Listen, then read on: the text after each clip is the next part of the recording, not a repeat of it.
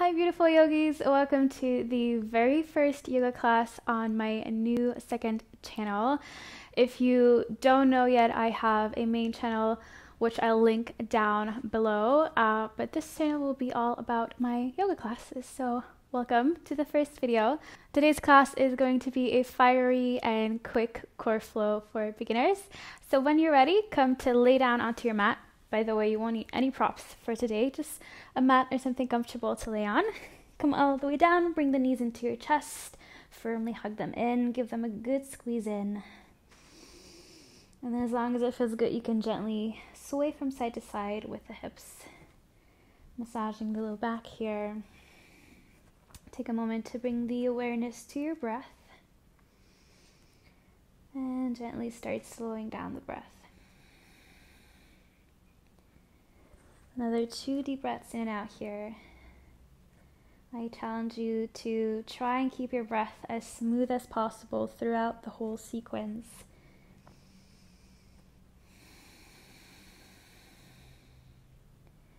Good. And then gently bring your feet down towards the floor. From here, see if you can walk the hips a little bit further away from you so that the low back is flat onto the floor. Bring the arms alongside the body with the palms facing up. And then from here, Bring your legs at a 90 de- uh, degree angle so your feet will come off the floor. We're slowly going to start warming up the core here. So, your next exhale, bring your knees over towards the right side, all the way down until they touch the floor. And then, by using the core, pull the knees back up to center. So, pull the core in. Notice how the rest of the body moves as you pull the core. And the exhale, bring the legs over towards the left side. Again, from the core, from your belly button, pull the legs back up. Should be quite hard. Exhale, back to the right. Inhale, pull. Exhale, left. Inhale, pull. One more on each side. Try as little as possible to use your arms here to pull yourself up. So the arms are just here to stabilize, but you're really using the core to pull the lower body back up to the center. Good. Hug your knees back into your chest, give them a squeeze in. And then from here, fully extend the body, bring the arms overhead, stretch your legs out forward towards the front of the mat. See if you can tuck your tailbone, bringing the lower back onto the floor again. Take a nice deep breath in. On the exhale, come to half boat Ardha Navasana. So bring the arms forward, peel the shoulders off of the floor, keep your chin to your chest, and then lift your legs off of the floor. Really engage the inner thighs in towards one another, belly is in. On your next exhale, come up to a Navasana, boat pose. Good. Take a nice deep breath in. Exhale, come halfway down, half boat pose. Another deep breath in. And exhale Come all the way back down to the floor. Relax. Take a deep breath in. We'll do this a few times with the breath. On the exhale, come up to half boat pose, Ardha Navasana. Deep breath in. Exhale, come up to boat pose. Feel free to take hold of the backs of the thighs if that makes it a little bit easier for you. And then on next exhale, come back down. Inhale here. And exhale down. Good. Three more. Inhale here to relax. Exhale, come up, Ardha Navasana. Take a deep breath in, try to relax your shoulders. On the exhale, come up to boat pose, hug the knees in towards your chest, deep breath in. Exhale, bring it back down. Inhale here. And exhale, release. Good. We only have two more. Inhale to relax. Exhale, half boat pose, Ardha Navasana. Inhale here, hold. Exhale, boat pose. Again, maybe holding onto the thighs if that makes it a little bit easier. Deep breath in. Exhale down. Hold for a breath in. And exhale, release. Very last one here. Inhale, just fully relax. On the exhale, come up. Half boat pose. Inhale here. Exhale, Navasana. Inhale here. And then from here, just cross the lower legs, bring the hands out in front of you, and if you can, roll over your knees towards your tabletop. Make sure your hands uh, are right underneath your shoulders, knees are right underneath your wrists. And then from here, walk the hands forward, come towards your puppy pose, bring your forehead down onto the floor. Take a couple of deep breaths here. Make sure you press your palms firmly down into the floor. Lift the forearms away from your mat. See if you can spread your shoulder blades, so bringing space in between your shoulder blades in. And then press the backs of the thighs towards the wall behind you. It should feel like a gentle stretch for the front of the upper body, including your core. Your next inhale, look forward, walk the hands back towards you, come back to your tabletop. So all fours, hands are underneath your shoulders, and then from here, walk your hands one palm forward, tuck your toes under, and come to your downward dog. Feel free to pedal the feet here, bring some movement into the body, especially if you haven't done any type of movement yet today. Good. And then gently come to stillness. Make sure you're pressing your chest back towards your knees, broaden your shoulder blades again, and then press the upper arms towards one another. From here, core is engaged, and then see if you can lift your right leg straight up towards the ceiling, three legged dog. Keep your hips in line, so keep engaging the inner thighs to ensure that your right hip is not rolling up. So you don't want to do this. You want to keep the hips nicely squared to your mat. Take another deep breath in.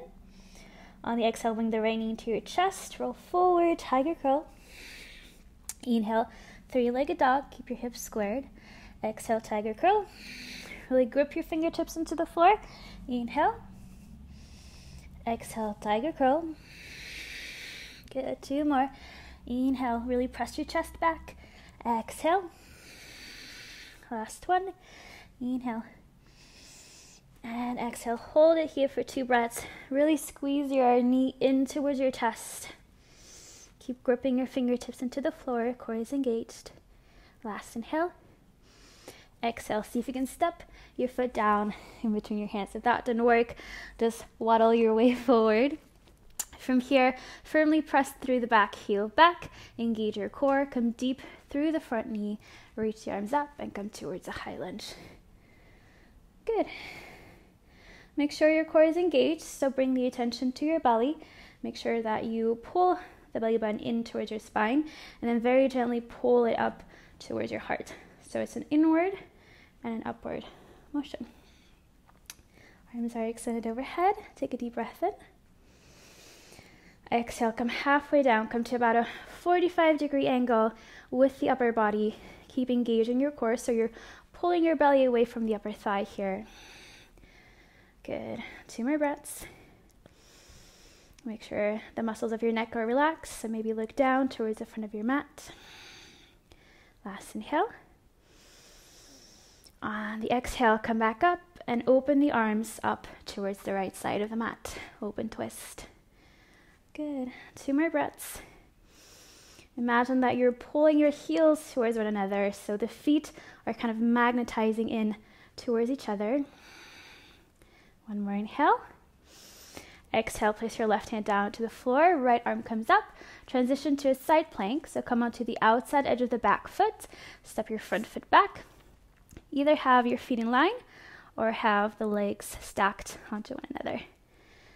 Good A few breaths here. Make sure you have a lot of space in between the fingers of your left hand and you're gripping your fingertips into the floor. Press from the left armpit up. Last inhale. Exhale, come to a plank. So roll over to the middle. Two breaths here. And then roll over to the side. But as you do this, bring the right knee into your chest. Left arm comes up.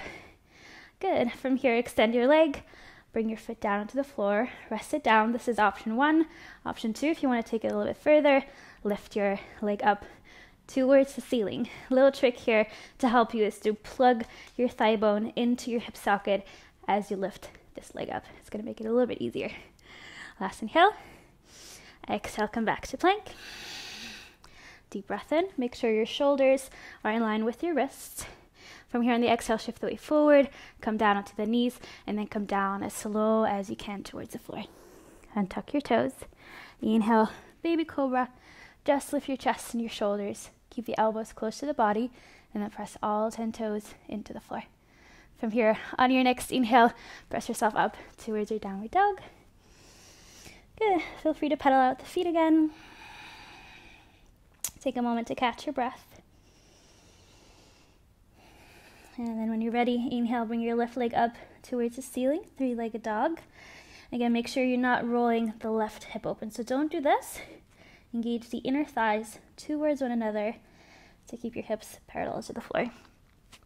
Press your chest back towards your right leg.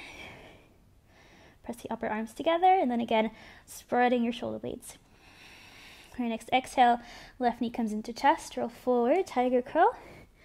Really press your fingertips into the floor. Inhale, three legged dog. Exhale, tiger curl. Inhale, three legged dog. Three more to go. Exhale, tiger curl.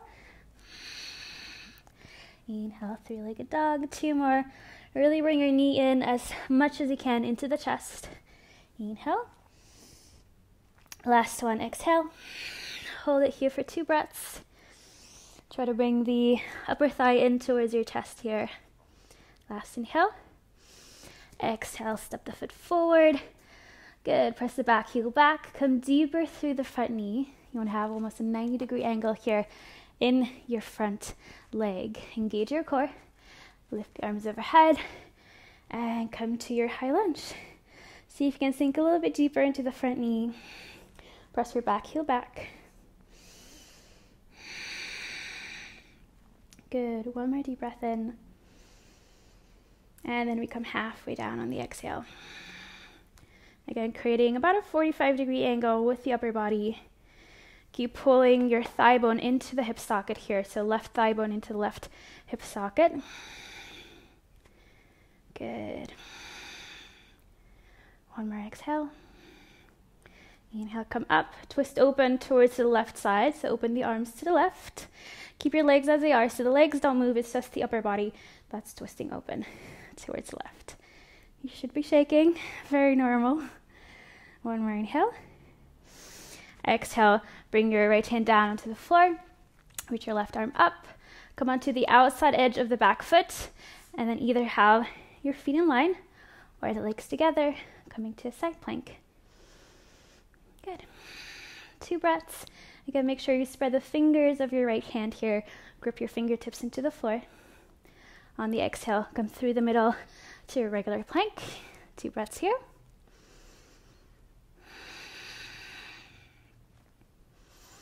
And from here, bring your left knee to your chest, roll over towards the left side, reach your right arm up.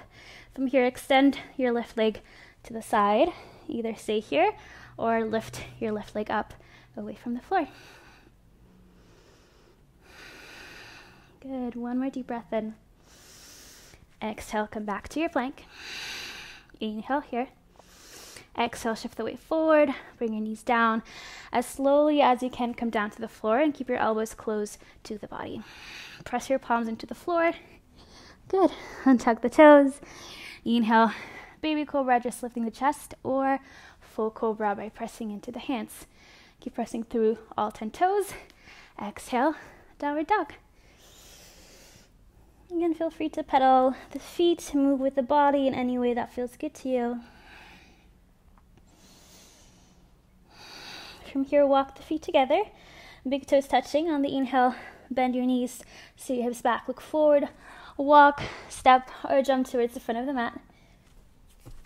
Bring your hips down to the floor and bring the legs out in front of you. So you want to have your knees bent, legs are together. Take hold of the back sides of the upper thighs here. Inhale, lengthen the chest. Press your shoulders back so that your chest opens up. And then again, bringing the awareness to your belly here. Make sure you pull the belly button in and gently up. This is called Uddiyana Bandha in yoga. From here, you keep your body as it is. You're just going to start to lean back. So keep your spine as tall as you can. Lean back until your toes are coming off the floor and then extend your legs up so that they're creating a parallel line to the mat. Keep pressing your legs in towards each other. Shaking is very normal. this is your option one in Navasana boat pose. Option two, extend the arms out to the side. Option three, extend the legs. Now make sure you can find a position that you can hold for a while. Good, two more breaths. Last inhale. Exhale, take hold of the thighs, roll all the way down. Bring your knees into your chest, hug them in. Good. Again, maybe gently swaying from side to side. You guys have made it through the hard part of the class. We'll do one easy and quick stretch here to release some of that tension that we've built up in the core now. So from here, bring your feet down onto the floor. Again, maybe press your hips a little bit forward so that your low back is straight or flat to the floor. From here, walk your legs together. Walk your hips up a little bit towards the left side. Bring the knees all the way over to the right. And then extend the arms out sideways, or if you don't have the space to fully extend, bring the arms at a 90 degree angle. And then, as long as it feels good for your upper back and your neck, you can look over the left shoulder. If you want to take it deeper into the twist, all you do is bring your top leg underneath the bottom one. So you're crossing the upper thighs. Good. Feel free to close the eyes. We'll stay here for a few breaths. If you've lost touch or connection with your breath, now is the ideal opportunity to reconnect. See if you can use the breath to slow down your heart rate.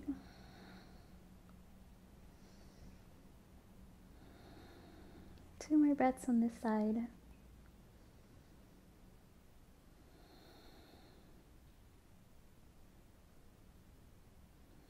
Now, your next come back through the middle and cross your legs if they were crossed. Now, walk your hips a little bit off towards the right side. Bring your knees all the way over towards the left. And then this time, look over the right shoulder. Again, if you want to go deeper into the spinal twist and it feels good to you, you can cross the upper thighs, bringing your right leg on top uh, of the left one, or you're crossing the right leg under, sorry, under the left one. Again, a couple of nice deep breaths here. Bring the awareness to the muscles of your core. And allow those muscles to fully soften and relax. See if you're holding on to tension anywhere else in the body maybe in the hips or the legs, shoulders, arms. Even check the muscles of your face.